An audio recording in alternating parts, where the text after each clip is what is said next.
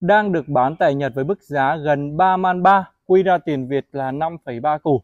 Tuy nhiên khi đến bên em thì mức giá còn chưa đến con số đó nhé, bởi vì em nhập trực tiếp từ công ty phân phối chính hãng tại Việt Nam và công ty cũng làm việc trực tiếp tại nhà máy chứ không phải là sang bên Nhật mới nhập về, thành ra là sẽ giảm được chi phí trung gian không cần thiết.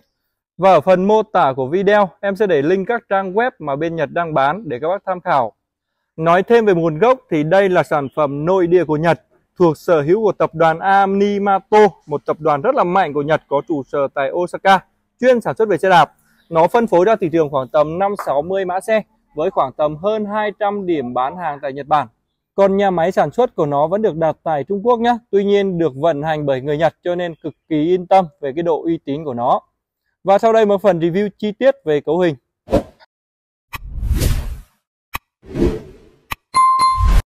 Về khung càng, xe sử khung hợp kim nhôm có màn nhôm màn vẩy nền như này, rất là dễ nhận dạng. Nước sơn tính điện của nó là sơn ba lớp cực kỳ mịn và đẹp luôn. Chỉ tiếc của nó là nó không đi âm khung một dây nào cả, thành ra nó không quá đẹp. Ước gì nó đi một cái dây ờ, đi âm bên này, nó sẽ gọn hơn. Còn hai cái dây ở phía dưới này thì đi dấu dưới này nó đã rất là gọn rồi. Đề cam thương hiệu của nó là Enler nhưng mà thực tế ra là Enler là một cái dòng xe của là thương hiệu Aminato này nhá chứ không phải là đây là thương hiệu, bình thường nó sẽ ghi đây là thương hiệu và mã hiệu nó sẽ ghi ở sau này. Nhưng mà thực tế là cái NLA31 ấy, thì chữ A31 nó thể hiện cho một cái mã để nhập khẩu hoặc là cái gì đấy để nhập máy tính thôi. Chứ còn trên xe thậm chí nó còn không ghi chữ A31 nhưng mà mình cứ gọi là NLA31 cho nó nhanh. Có tem của thị trường Nhật đầy đủ. Đây, và đây. Nhưng mà thực tế ra là cái dòng chữ này, nó viết là xe này chỉ sử dụng cho cái đường phố, nó không sử dụng cho đường gồ ghề còn cái tem này nó ghi hướng dẫn để sử dụng cái cọc yên thôi. Ngày xưa cái quảng cáo tung trời lên là tem của thị trường Nhật này kia. Về sai số thì nó có thông số giống đứng là 46 giống ngang là 53,5 trên nền bánh vành 700 nó chuẩn cho chiều cao từ mét 6 đến mét 7 và chiều cao đi được từ 1m55 đến 1m75 còn về lỗ chờ để bắt tay ba ga chắn bùn thì đầy đủ nhá. Đây là lỗ chờ bắt chắn bùn này. Có thể chế thêm một cái pad để ra đây để bắt được ba ga. Rồi chân ba ga và chân chắn bùn dài thoải mái luôn và đặc biệt là cái khe này nó đang rất là lớn này, các bác có thể độ lên cái lốp to hơn thoải mái. Về càng phuộc là càng bằng thép nhá, càng này ưu điểm thì khả năng hấp thu lực tốt, khả năng chịu lực cũng cực kỳ tốt luôn. Và nó sơn tính điện ba lớp lên thì cũng không lo bị rỉ sét. Và nó thì thực sự là nó không được đẹp lắm, theo quan điểm của em, bởi vì cái càng nhôm thì nó sẽ làm to hơn, nó dày hơn, trông nó sẽ khỏe khoắn hơn. Càng này nó ngoại quan, nó hơi bị nhỏ một chút. Tiếp theo là một cái chân chống thép đa điểm nhá. Chân chống này có ưu điểm là cái cụm phía này này, thì thực sự rất là chắc tuy nhiên cái cơ cấu phía dưới này thì nó lại giống cái chân chống gọi là tiêu chuẩn bình thường. Cái lò xo ở đây cái chỗ này là các bác hình dung này gạt đi gạt xuống này chỗ này bằng nhựa thì về thời gian nó sẽ mòn.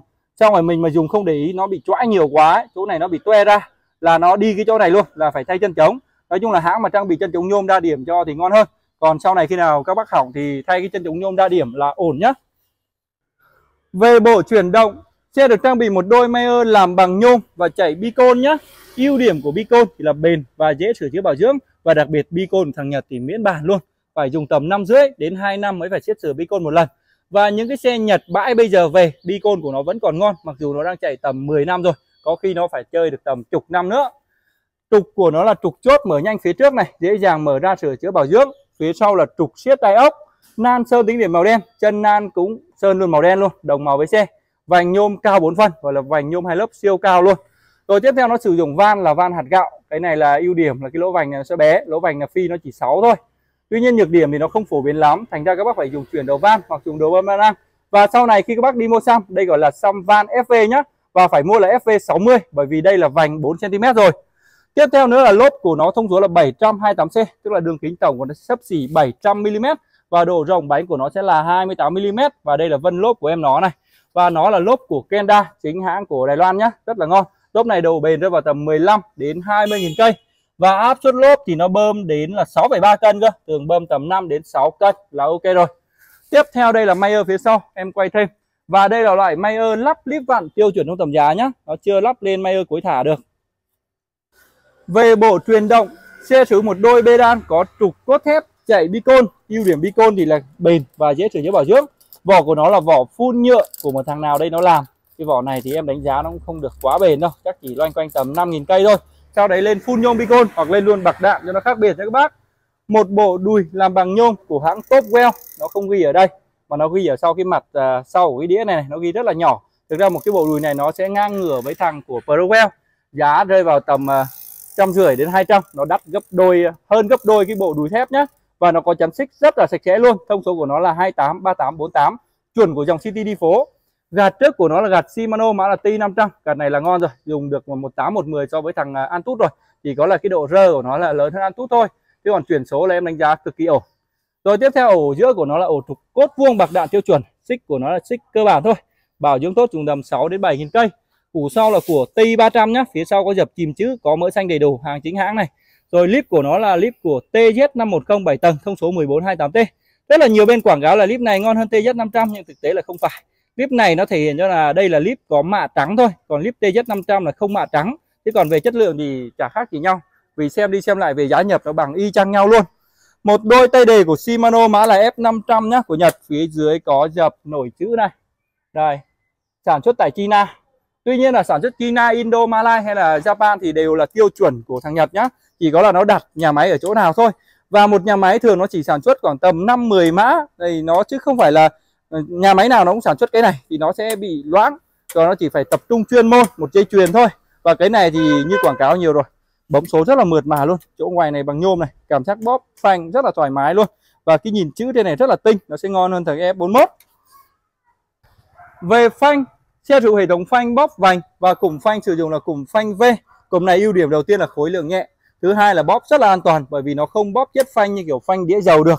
Còn phanh đĩa cơ mà ngơ ngơ thì nó cũng không thể bằng cái thành gọi là phanh vành này được. Rồi tiếp theo nữa nó rất là dễ sửa chữa bảo dưỡng.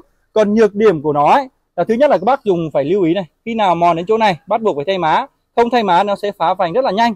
Và thứ hai nữa là nó không đi được cái địa hình mà gọi là nhiều xìn lầy nhá tức là nhiều bùn đất. Bởi vì khi có bùn đất dính vào đây này thì hiệu suất phanh nó sẽ giảm hẳn luôn. Còn cái phanh đĩa thì nó ở vị trí này thành ra là kể cả đi bùn đất vừa vừa ấy, thì bùn đất nó không rơi vào phanh thì nó không giảm hiệu suất, còn cái này nó chỉ có nhược điểm như thế thôi. Tay phanh của nó là tích hợp trong tay đề, cái độ rơi gần như không có luôn. Cực kỳ chắc. Và bóp rất là nhẹ luôn, phanh này phải nói bóp nhẹ thật. Về hệ thống lái sẽ là trang bị ghi đông làm bằng nhôm, được sơn tính điện lên màu đen. Và thiết kế ghi đông thẳng nhá, bo cong hơi ít như này, thì trông nó rất là đẹp. Tuy nhiên thì cảm giác lái nó chỉ dừng ở mức là ok thôi. Tiếp theo làm vô tăng làm bằng nhôm, chén gỗ bằng nhôm còn trên ghi đông được trang bị thêm một cái chuông này. Chuông này thì nó thật sự nó hơi đều, nhưng mà có còn hơn không? Một cái tay nắm của nó là có cái cao su cũng khá khá được.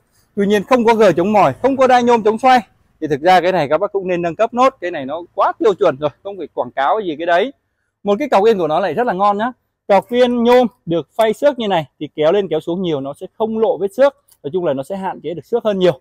Đó là cọc yên nhôm đúc dùng lục 6 mm phía dưới lên một cái form biên của nó thì chất da thì ưng, tuy nhiên thì độ dày chỉ ở mức, gọi là, trung bình khá thôi, nó không có đánh giữa thành ra nhập môn thì chắc là nên dùng bọc yên. Một cái khóa cọc yên thì không có khóa mở nhanh nhá, sử dụng lục 5 mm cái này được cái là ưu điểm là rất là gọn đẹp luôn. Và như nhiều bên quảng cáo là cái này để chống mất cọc yên ở bên Nhật, nhưng mà thực tế em nghĩ là nó đã lấy cọc yên rồi thì nó cầm thêm cái lục năm nó vặn một vòng là nó lấy thôi, chứ còn có chốt với không có chốt thì chả giải quyết cái gì. Rồi tiếp theo nữa là cái phi chỗ này, nó là 31.8 nhé cho các bác độ à, khóa mở nhanh và bên em cũng có bán cho các bác nào yêu cầu. Cuối cùng là về khối lượng em nó nặng là 12,8 cân cũng khá là nhẹ cho một em xe City Bike của Nhật như này rồi. Và chính sách bảo hành là khung sườn 5 năm phủ tùng 1 năm trừ xăm lốp và bê đan và có ship code toàn quốc nhận hàng kiểm tra rồi mới phải thanh toán. Và bên em có yêu cầu cọc chi phí vận chuyển trước nhé gọi là cọc làm tin thôi cũng không phải cọc quá nhiều đâu rồi tiếp theo nữa là quà tặng đi kèm là gá nước, bình nước, khóa 4 số và chắn bùn. Ngoài ra thì có tặng thêm một bộ dụng cụ lắp đặt khi các bác lấy nguyên thùng. Còn về màu sắc thì em xe này hình như có đến 5 màu thì phải. Thì nên em kiểm tra lại và em sẽ cập nhật ở cuối video nhé. Cảm ơn các bác xem hết video và chúc các bác lựa chọn được cái xe thật là ưng ý.